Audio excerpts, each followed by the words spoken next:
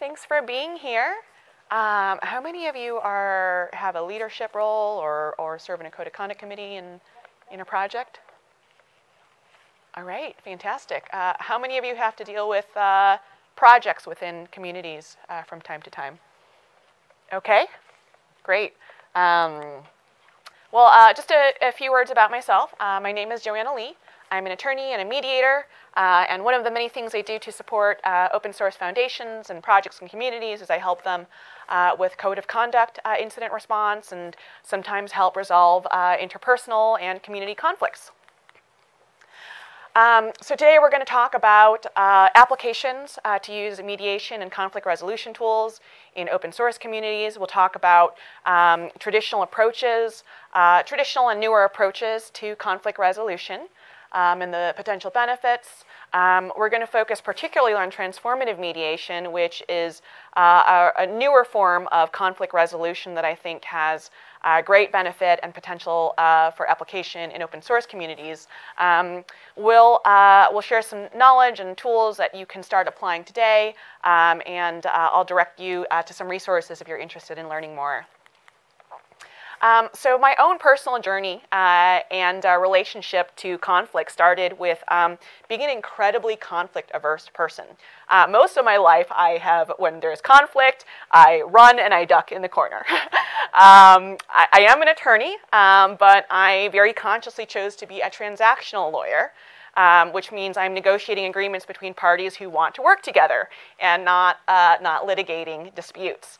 Um, but in the course of my work, um, increasingly I found um, negotiating um, led into uh, developing skills as a mediator.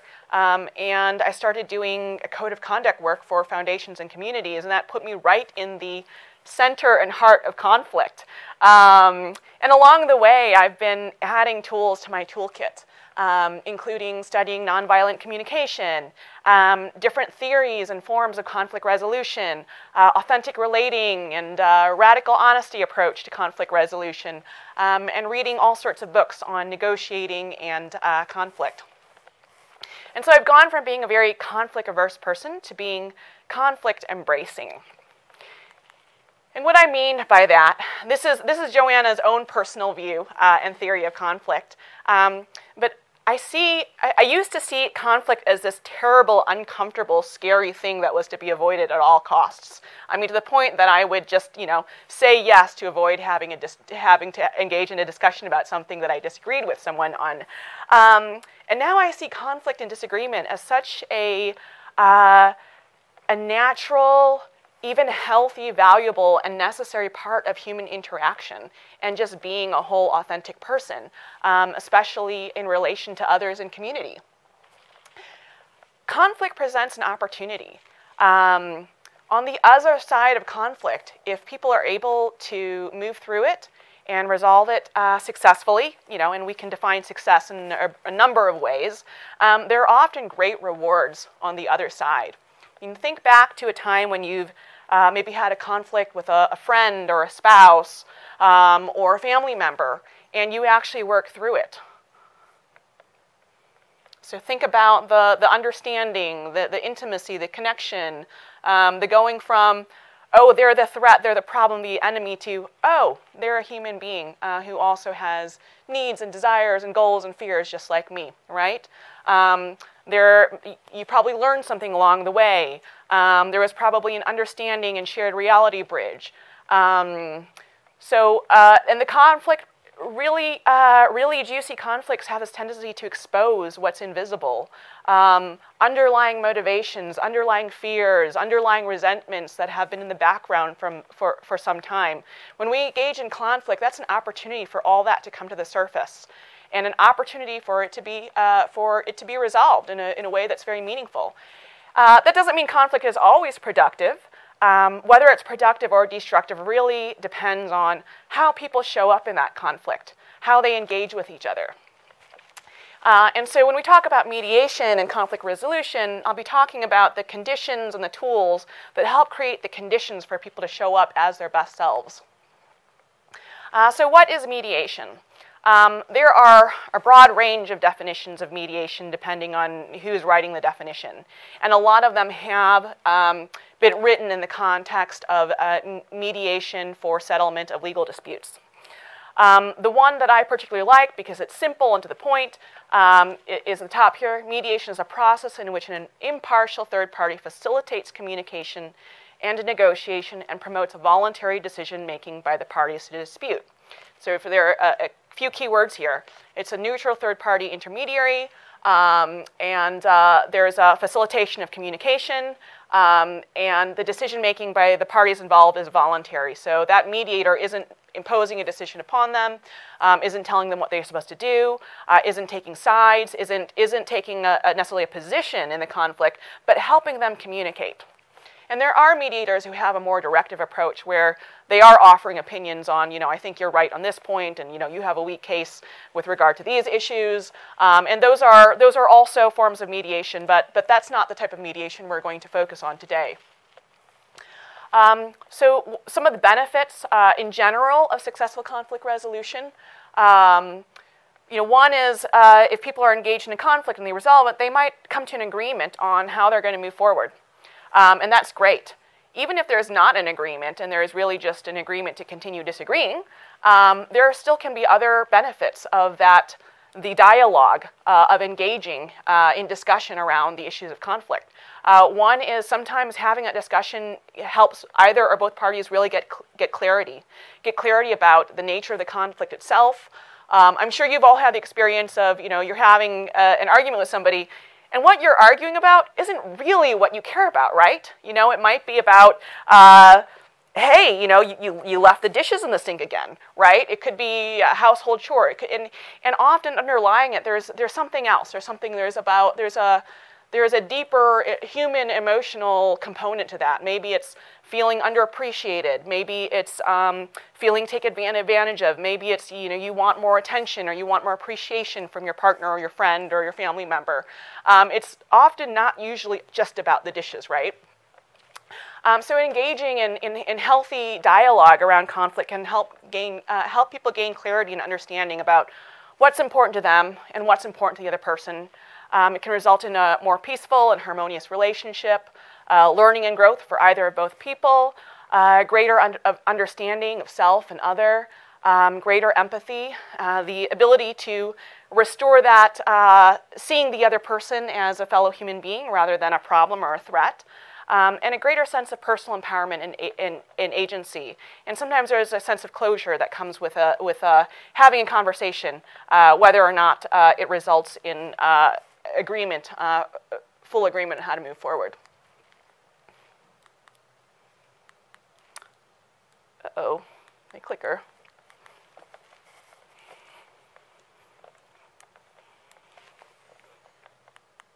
Okay, there we go. Uh, so how can we apply this in open source communities? Uh, well, one is when interpersonal conflicts arise uh, in a community. It could be about, you know, uh, you know, why did why didn't you merge my uh, pull request? Um, or uh, you know, why wasn't I chosen for this program committee, um, uh, et cetera? Or it could be, you know, it could be rudeness that's happening in a community space, um, and uh, both people feeling, you know, like they're very justified in their positions. Um, it could be a disagreement over the technical direction of a project. Uh, another potential application is in code of conduct incident response. so there is an increasing um, Increasing movement um, and desire uh, in many open source communities to apply a restorative justice framework to code of conduct incident resolution, and I'll talk a little bit uh, more about that in a moment. Um, I do want to note that mediation, uh, where two people are, are, are, talking with each other with the, uh, the conversation facilitated by a third party, uh, you know, that can't be forced on anybody. Um, if that decision, if that conversation is going to happen, it has to be completely voluntary um, on everyone's part. Um, so uh, increasingly, uh, open source communities are, are trying to find ways to um, apply restorative justice, um, especially in uh, communities that are very social justice uh, minded and oriented. Uh, and restorative justice is a framework uh, and theory of justice that was developed in the 1970s as an alternative to retributive justice, which is a punishment-based theory of justice. Um, and it focuses on healing and restoration of harm um, particularly with respect to the person who is the uh, so-called wrongdoer and the person who is the victim. You know, and in many conflicts, it's not going to be clear who's the wrongdoer and who, who's a victim. Sometimes they'll both point the finger at each other and say, well, they're the wrongdoer, I'm the victim. Um, that, that does happen, and that's also a situation in which uh, facilitated conversation um, uh, can sometimes uh, help with resolution. Um, for in a in a uh, in a pure re restorative justice framework, though, um, that conversation typically ha doesn't happen unless in advance um, the person who's the so-called wrongdoer has taken full responsibility for their actions and, and the impact. Um, and the idea behind that conversation is that there's healing and um, restoration of the interpersonal relationship through both uh, the, the wrongdoer uh, giving an, a sincere apology and also hearing and empathizing with the impact on the victim and then the victim also you know, receiving that apology and, and witnessing the, uh, the, uh, the remorse is, is somehow restorative and healing to them. Um, uh, so if there is going to be a restorative uh, justice conversation, having really good mediation tools um, that that third-party facilitator can bring to help create a safer space um, and help the parties um, uh, achieve that outcome um, is, is very helpful. Um, transformative justice is another theory of justice that is, uh, is having an impact in code of conduct work. Um, and that is a theory and framework of justice that was developed in the 1990s that focuses um, on broader, more systemic issues that may have contributed to uh, or encouraged the, uh, the problematic or wrongful behavior. Um, mediated conversations can help illuminate and uh, create awareness of these systemic issues. And there are forms of mediation that are very social justice oriented. We will talk about uh, one of them later. Um, uh, and those help deconstruct and shift narratives and stories um, that, are, that perpetuate uh, inequities and power imbalances. Um, so potential benefits um, of uh, conflict resolution uh, tools specifically as applied to open source communities is that um, it can contribute to more harmonious uh, relationships. Uh, it can help parties gain clarity about what's really important to them and, and uh, understand each other. Um, and creating opportunities for learning about how one's actions are perceived by and impact others. Um, you know, it's one thing when, uh, you know, if somebody who violated a code of conduct receives an email um, after the investigation is completed and says, you know, hey, you did this thing, it violated the code of conduct, and, you know, shame on you, right? Uh, please don't do it again. Um, and it's, it's, it's, it creates a whole other dynamic when they actually talk to somebody who is emotionally impacted um, by their action, and they're looking, you know, face to face with that person and recognizing, wow, um, my action actually had an emotional impact on this person. Um, it, it, helps the internal, internalization and learning um, about one's own behavior uh, in, in, in a much more meaningful way than just getting an email that it describes what, what you did that you really shouldn't have done. Um, also, uh, if there is a conversation and people voluntarily come to an agreement on how they're going to move forward, whether it's how they're going to behave and treat each other going forward, or you know, how the project's going to you know, resolve this disagreement over the technical direction. Um, those agreements and commitments tend to be so much more durable. People are so much more behind them when they've had, uh, they've participated in that decision making um, versus a, a having an outcome just imposed upon them by um, whether it's a project leader or code of conduct committee. Um, oh, and also feel free to feel free to, uh, interrupt with questions at, at any point. Um, so there are there may be uh, a narrow set of situations in open source communities where you know a formal mediation session where you've got uh, people engaged in conflict and uh, a, a, neutral facilitator um, uh, facilitating that. Um, but there's still so many benefits of learning conflict resolution skills. Um, if you are in a management position, if you're in a project leadership position, if you're part of a code of conduct committee, uh, really, if, I think all human beings um, should probably have some conflict resolution training because it makes us better people. Uh, it helps increase our ability to, to learn, understand things from another person's perspective, um, maybe uh, redirect when, uh, when a conflict is starting to spiral out of control. So it can, uh, the, the, skills that you learn when you uh, study conflict resolution can be applied to helping you have difficult conversations more effectively.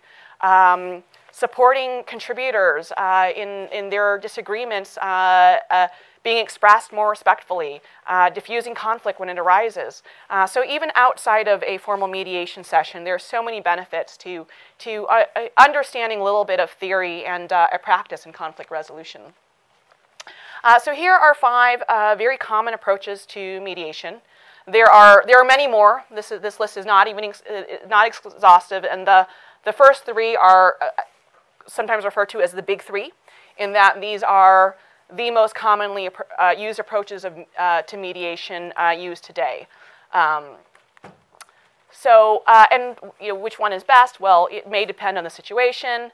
Uh, some mediators really are very strongly attached to one particular approach uh, for all types of, con of uh, conflicts. You know, I personally tend to use the facilitative. Uh, well, we'll talk about what those are, but I, I, I, tend to uh, use uh, some approaches in some situations and then the transformative approach in, uh, in others.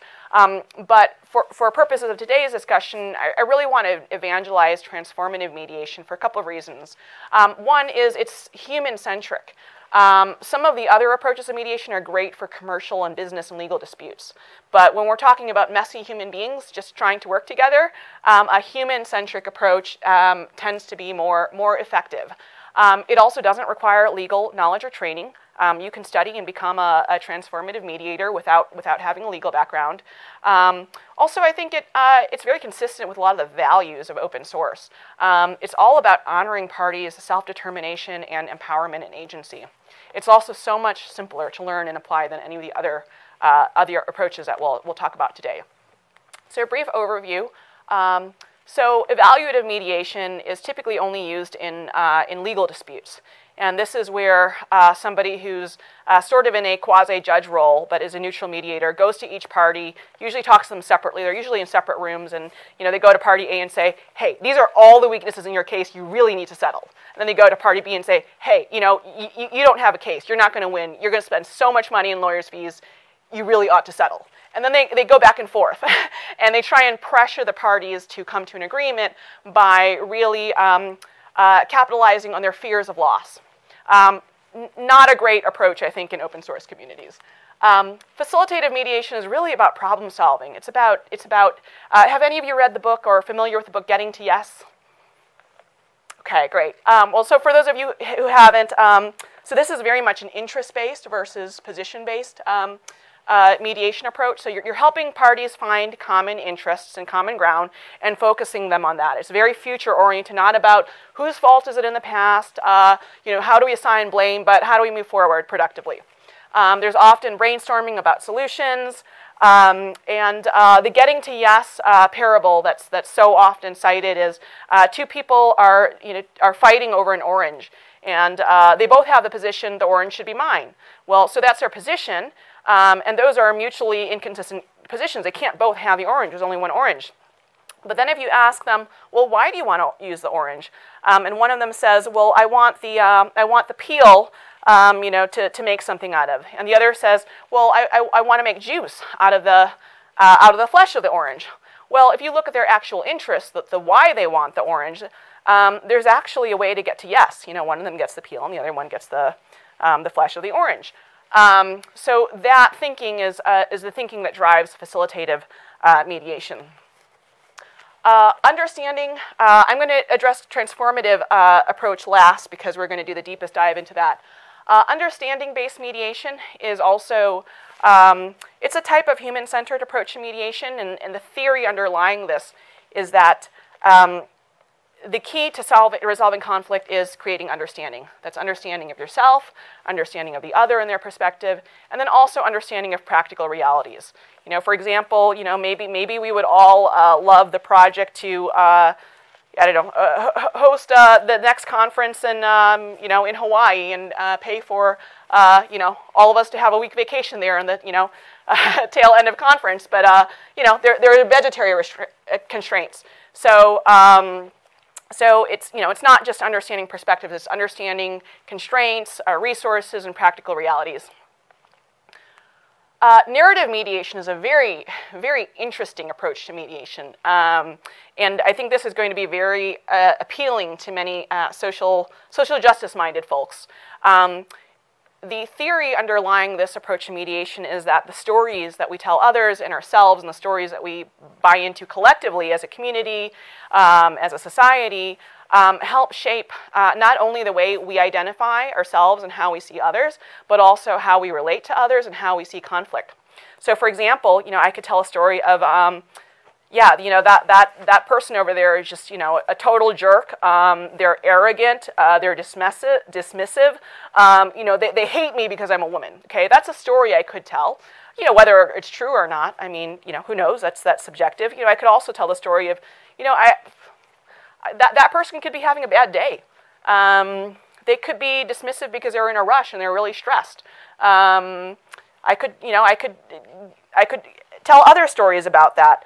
Um, so a narrative-based uh, mediator is uh, helps the parties uh, understand what their stories are, deconstructs it, uh, deconstructs those stories, and um, questions the underlying assumptions uh, of those stories, and then helps the, the, the parties come to a new uh, new narrative that is more a peace a peaceful narrative rather than a conflict-ridden narrative.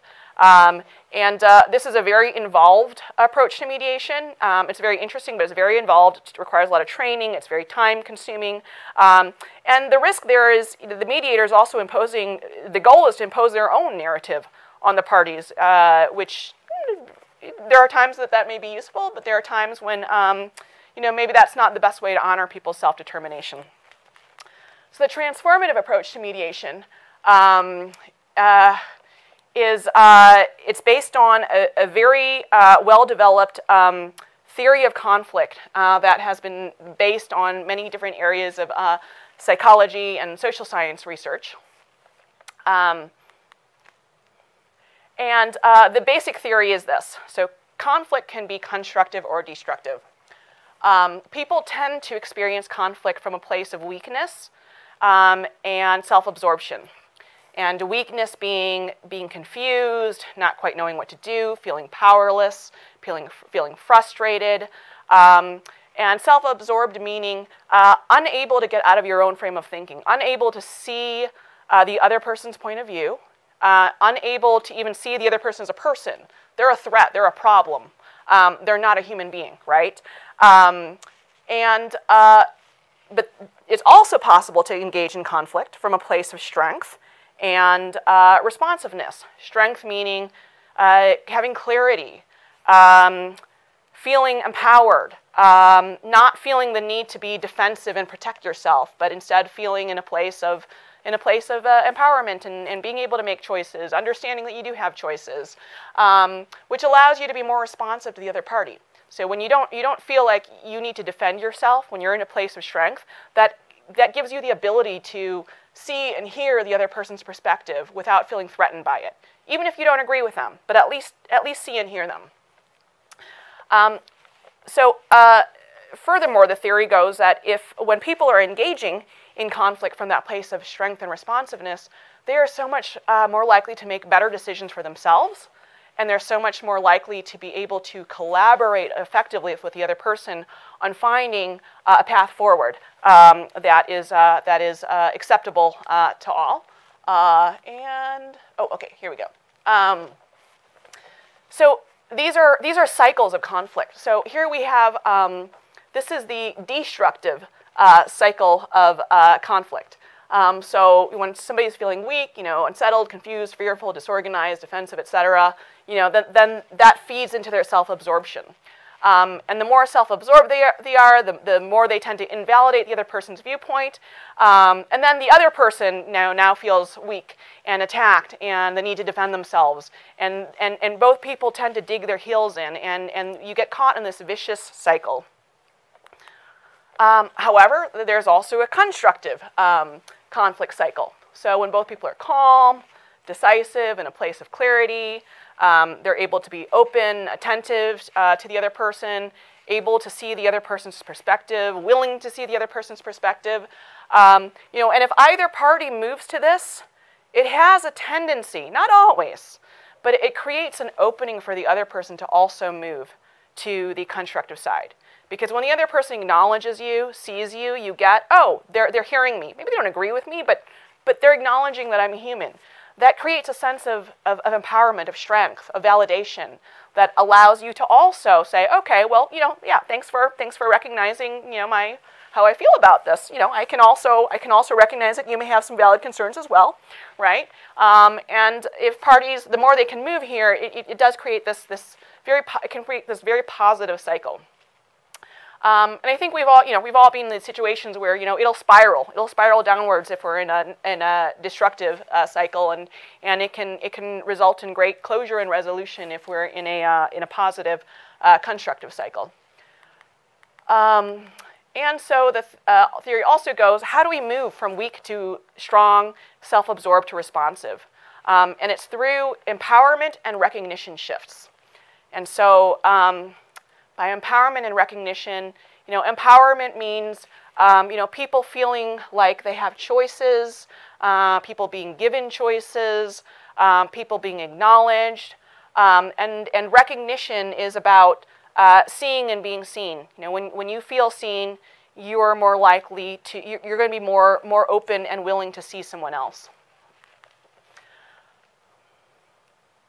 So um, so what a uh, transformative mediator is doing is, so again, there's empowerment shifts and recognition shifts, and, and these all feed into each other, is um, we're, we're using practices and tools that help the parties, uh, create opportunities for the parties to, uh, to move from destructive to constructive uh, conflict cycles. Uh, and so uh, let's talk a little bit about what those tools are. Um, there um, uh, well, a few more words on the theory. So uh, the theory also goes that people are capable from moving from a constructive to, from a destructive to constructive uh, cycle of conflict. Um, and they want to do so. I mean, if you can think of a time when you were really frustrated or upset uh, about something, it's not fun being there. It's really not fun being in a place of weakness and self-absorption. Um, it's not fun being feeling weak, and the self-absorption also causes an isolation. Uh, you know, we're social. We are social animals. We are wired to have uh, for connection with other human beings. And when we're in a place of self-absorption, we feel like we are cut off and isolated from everybody else. Um, the theory also goes that people can make these shifts or are more likely to make these shifts when they're supported in doing so. And so that is a transformative mediator's role helping uh, provide people with support so that they can make these empowerment shifts and recognition shifts and move to a more constructive place. Um, so a transformative mediator really, really does honor self-determination. They're not nudging, they're not pushing, they're not saying, hey, there's a solution over here. I, you know, I know how to divide the orange.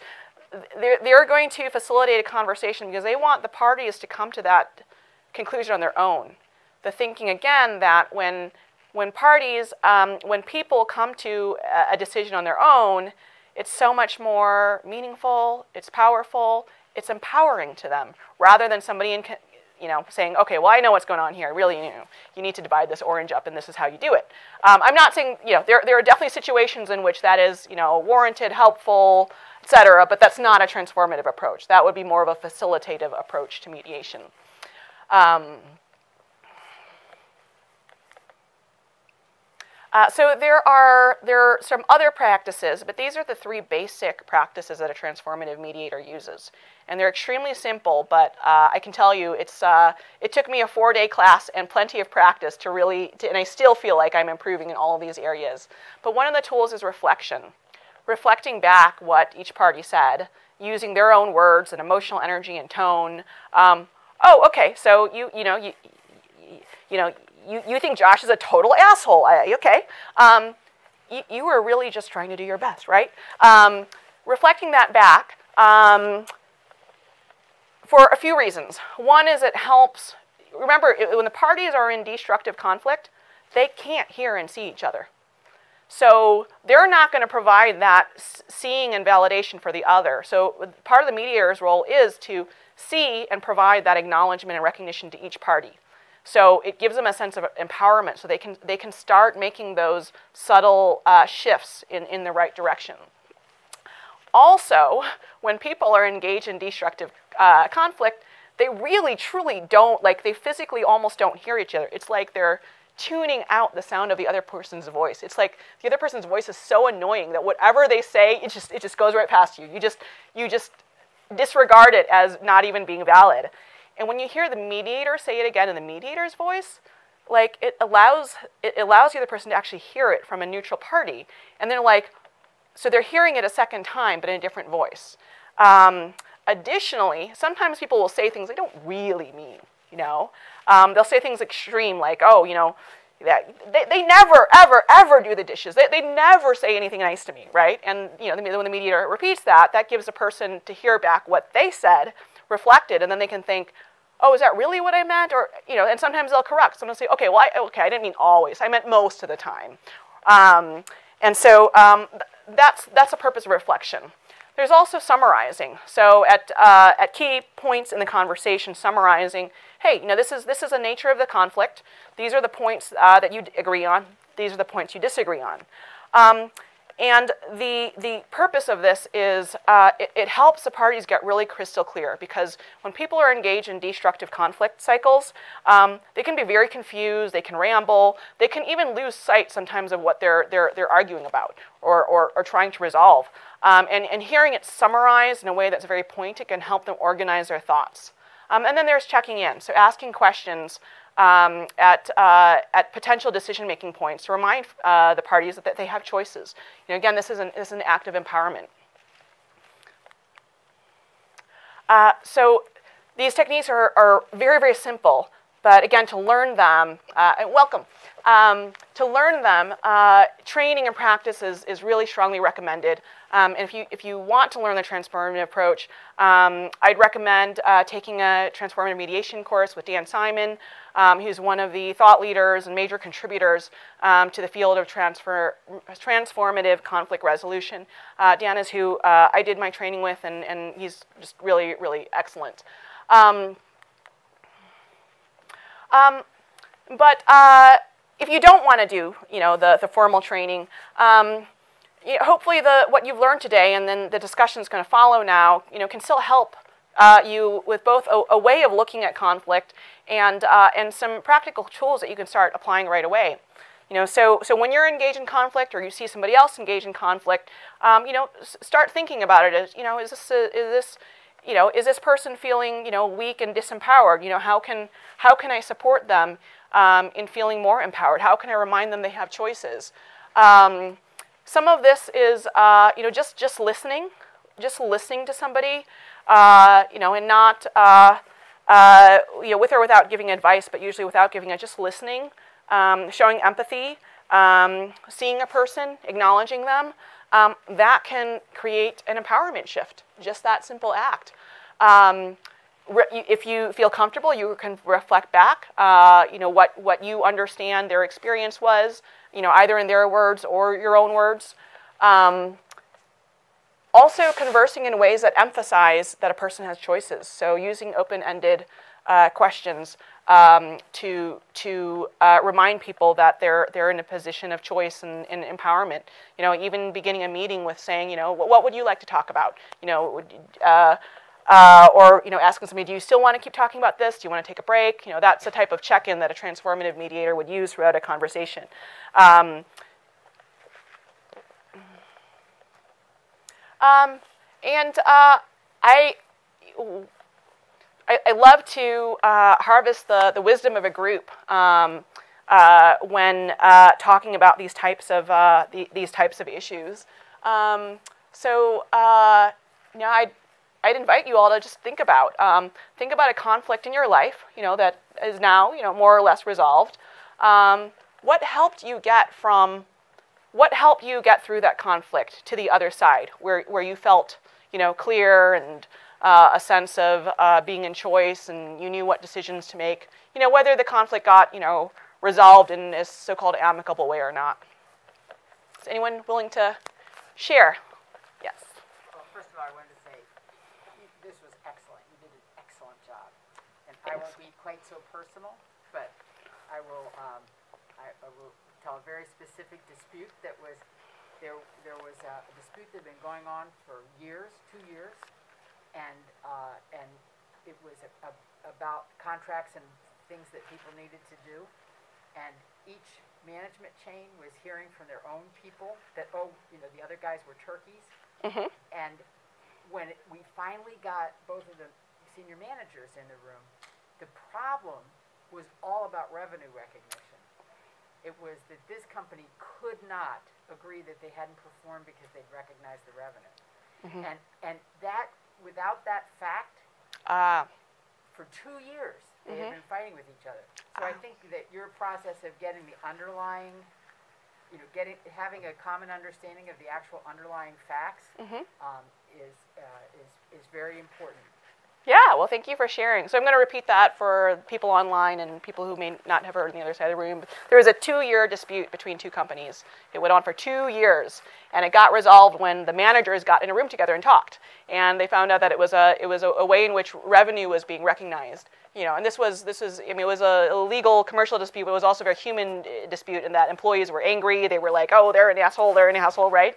Um, and it, it it got the underlying uh, cause got unearthed as soon as the managers got in a room and talked to each other. I mean, you know, imagine what would have happened if they, they didn't wait two years to talk to each other, right? um, so having information and sometimes just having a conversation. What else? What else has helped uh, has helped you um, move through conflict? Uh, you and then you. um, on a simply like time-based thing, when actually talking to people live, having everyone step back and accept that they're humans and maybe they need water, and sleep has helped a lot. All right. So asking that question before you start any difficult conversations and making sure everyone is Ah.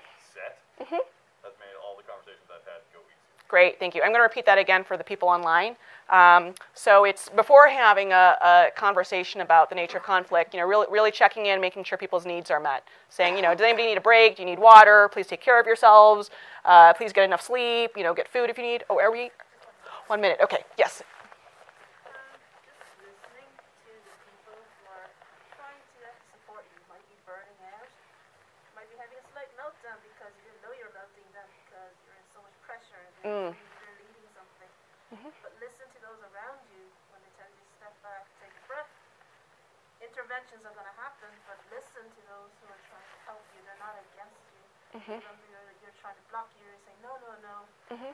I, wa- I know what I'm doing is right. Mhm. But you are hurting yourself in the long run, but do listen to others. Not, not, not, look, you might disagree with other people in the party, but also there are people who are supporting you. Don't forget those who are Ah. So I heard I, I I heard two things there. Thank you. Uh, the importance of listening. You know, both if you're the party in conflict or you're, you're assisting somebody in conflict, just listening. That, that that is so helpful. And then reminding yourself, hey, this person that's disagreeing with me might actually have my best interest at heart. They might actually be trying to support me. You know, how, how, however, uh, you know, whether or not their methods are effective or not, they may actually be trying to help. And, and seeing and acknowledging that. Um, yeah. Uh, yes. It's just a simple rule of uh, trying to resolve a conflict not on a chat but face to face. This might, may seem completely basic, I have been in business situations where the conflict was so on fire just because the people could not talk to each other, look each other in the face, but it was all in text chat with no human context whatsoever, no ability to read somebody's face, and Mhm. all of the human expressions that are so important in the situation of conflict. So a basic rule that works always. Yes, thank you, thank you. Yes, face-to-face interaction instead of just trying to resolve in chat. And uh, I mean, we're out of time, but we'll we'll take one more comment. Yes. I, I just wanted to kind of, I know, sorry, we're out of time, so probably, probably this takes longer to uh, address, but I wanted to, echoing that, I think so many of the conflicts that we come across in this space are, uh, by definition, they're in a chat, or they're, they're in a comments uh, section, or they're in a comment thread on GitHub.